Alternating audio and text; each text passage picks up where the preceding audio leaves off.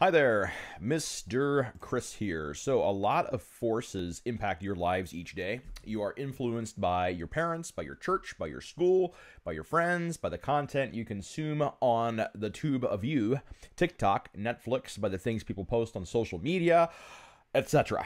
Two of the bigger influences on your life are the government systems under which you live your lives and the economic systems under which you work, buy, and sell. These modern forms, uh, or the modern forms of these two influences, have slowly developed in what we know today over the last 500 years or so. Modern style governments arose out of European countries fighting each other in the late medi- medieval and early modern times. And as war became more costly, the countries had to develop more organized forms of government to collect taxes. And the more taxes that were collected, the more complex the armies and governments could become.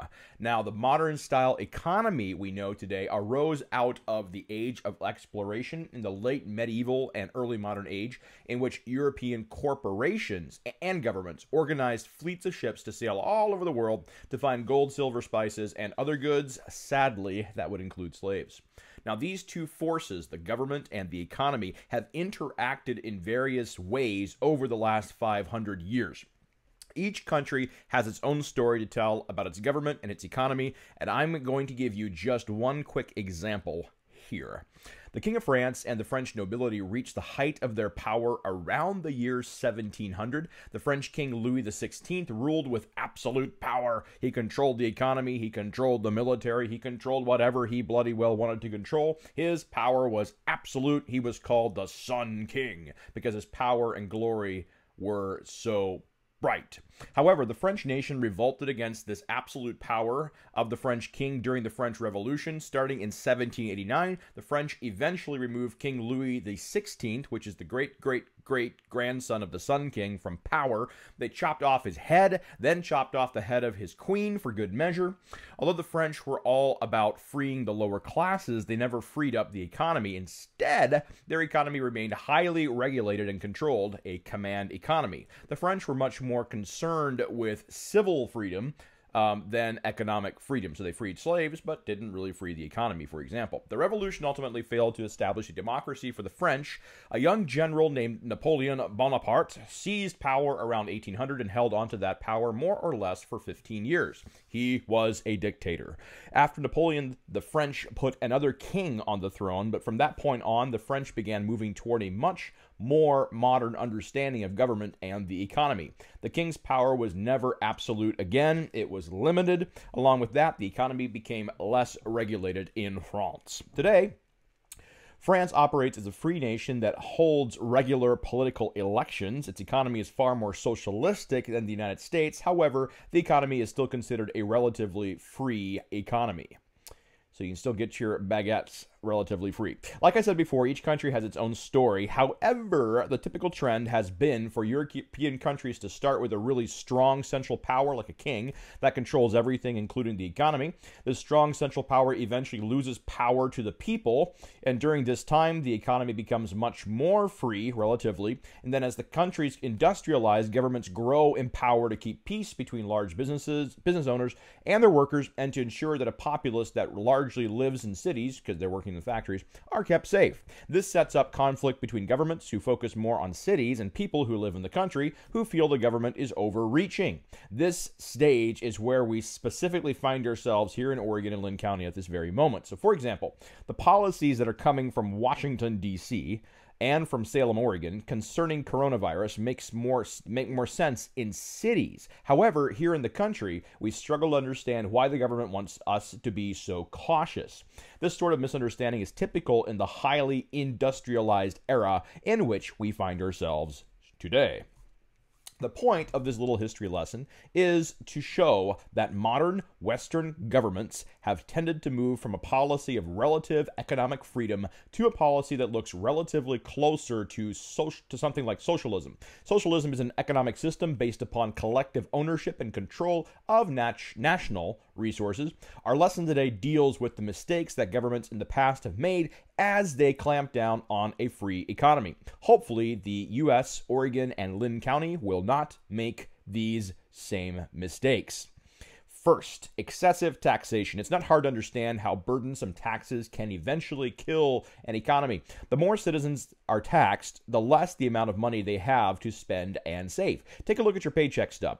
Do you see how much money is going to the federal government? Do you see how much is is being taken out to fund social security?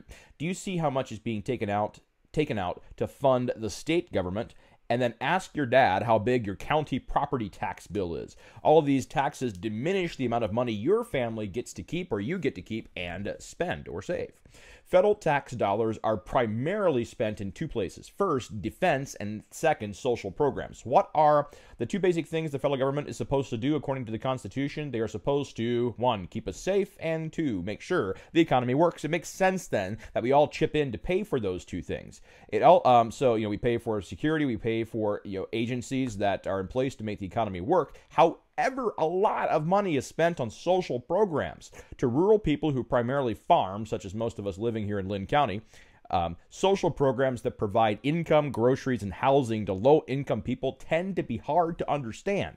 The question that tends to linger in rural people's minds is this Why should I pay a large part of my paycheck that I work so hard to get to help someone else who isn't working?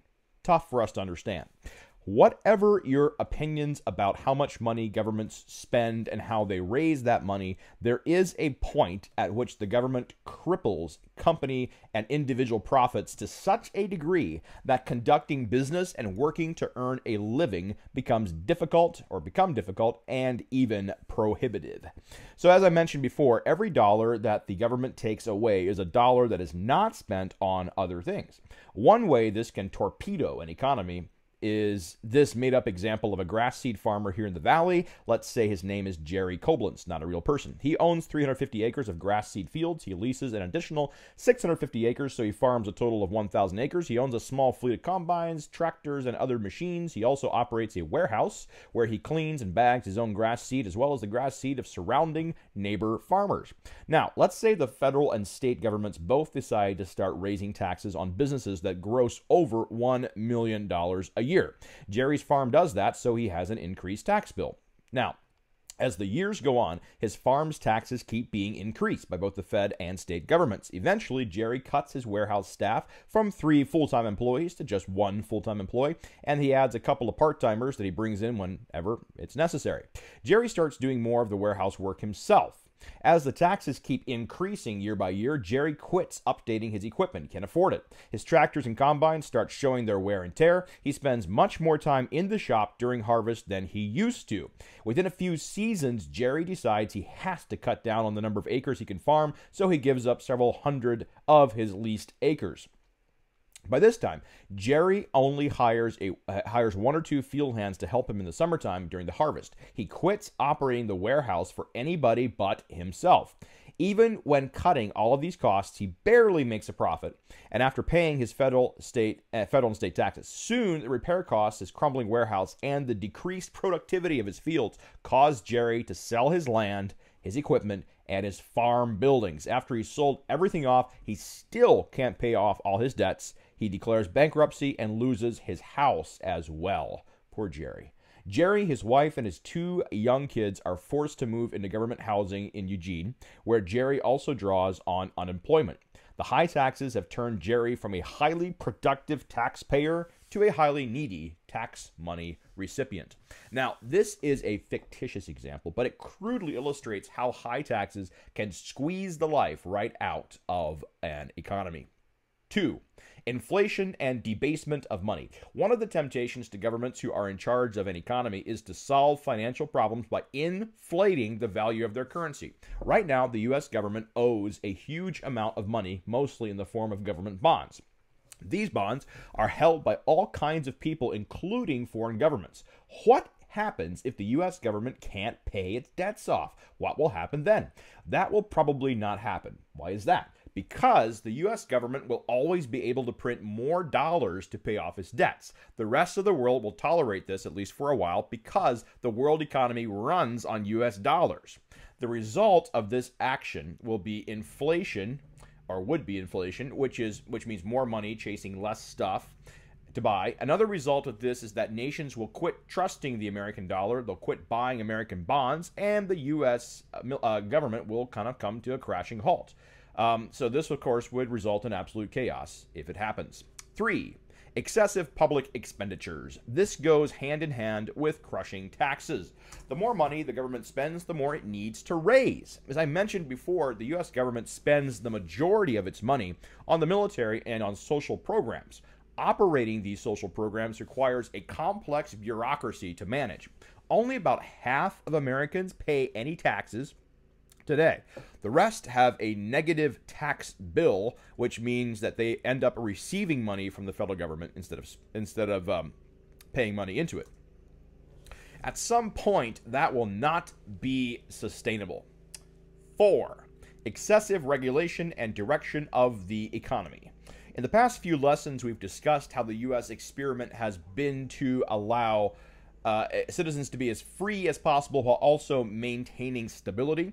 Excessive regulation means that government has slipped over the threshold of keeping the citizens safe and uh, and is now unnecessarily clamping down on positive economic activity. I'll give you one real life example. I have a friend who runs a seamless gutter business. OSHA, which is the Occupational Safety and Health Administration, has officers that patrol workplaces to ensure that businesses are adequately training their employees to be safe and providing adequate safety equipment to keep the employees safe. I've heard horror stories about terrible working conditions in other countries where people are maimed or die because their employers simply don't care uh, about keeping their employees safe. However, my friend, uh, so it makes sense that there's you know some uh, some some sort some sort of agency in place to keep people safe. However, my friend the gutter man has complained about a specific regulation that makes work really hard for him. They are supposed to always wear a safety harness when climbing ladders. That means that every time they get on or off the ladder, they need to either hitch or unhitch their harnesses to the ladder. Whenever he has forced his crew to do this, they get extremely frustrated because they spend most of the day getting on and off the ladders. Now, question Is it a good idea to have workers wear safety harnesses? Well, it, it might be. Um, does it slow down production? Yes, it definitely does. Should the federal government force businesses to force their employees to do this? What do you think? My, my point in this little example is, is this is that is this a good idea? Is it not a good idea? I, I, I tend to feel like this is probably an example of, of overreach, overregulation. It leads to workers working slower, which leads to higher prices. And so this is probably one tiny example of government overreach. A better made up example is number two in your consider section that asks about the hospital in regards to overregulation. The point here is that overregulation can frustrate workers and businesses and eventually make conducting business so hard that businesses or individuals simply give up. Five, political plundering of the economy. This particular problem does not take place as much in the US as it does in some other places around the world. While there certainly are corrupt politicians in the United States, the US has never seen whole scale plundering of the country's resources, such as that of some sub Saharan African countries. Let me tell you about that. European countries seized nearly the entire continent of Africa between the years 1875 and 1900. These countries typically set up systems that funneled nearly all the African countries countries wealth straight back to Europe. These European very unfair. These European countries mostly gave Afri- the African countries power back to them by 1960. In the wake of this uh, giving of power back, um, many sub Saharan African countries have been racked by years and years of instability as one military dictator after the next has seized power, then seized anything of value as well, similar to what the uh, Europeans were doing. Perhaps the best example of this is the Democratic Republic of the Congo. It has an incredible set of natural resources, incredibly rich, lots of things gold, silver, all kinds of natural resources. Yet, its citizens continue to be trapped in poverty because its economy is controlled by greedy overlords. In summary, while a government is necessary to provide economic stability, a government can also ruin a nation's economy. Several of the ways a government can do this is through excessive taxation, purposeful inflation of its currency, or debasement of its currency to pay off debts or pay its bills. Three, excessive spending. Four, excessive regulation. And five, plundering of its own economy. Let's hope and pray the U.S. economy and the Oregon economy do not fall to any of these terrible problems. Today, your assignment is to do 10.4. Um, also, heads up.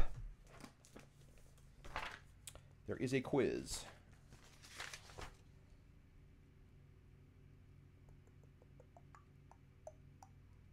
There was not a quiz.